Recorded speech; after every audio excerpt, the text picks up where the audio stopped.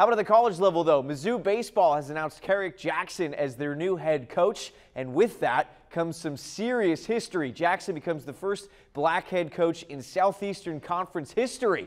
Missouri AD Desiree Reed Francois said the Tigers wanted to find a leader of high character and success rejuvenating a program.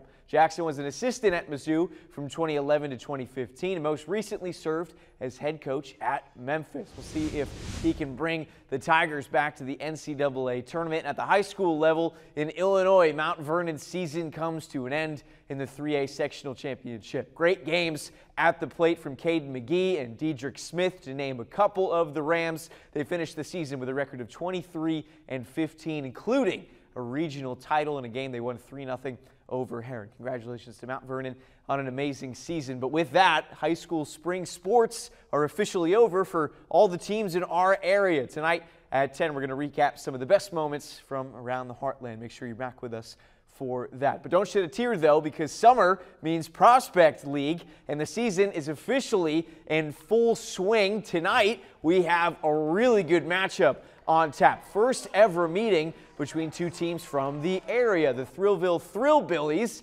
and Cape Catfish. Our very own Mackenzie Williams is going to be out shooting some highlights, and we'll have them for you tonight at 9 and 10. In their first season, Thrillbillies are off to a great start.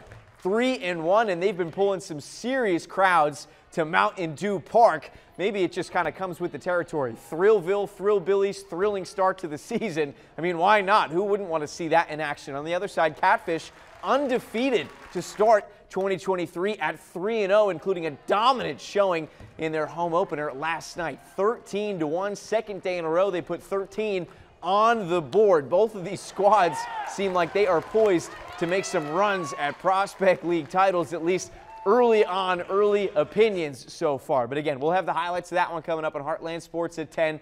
Thrillbillies, Catfish on tap. We'll have it for you right here.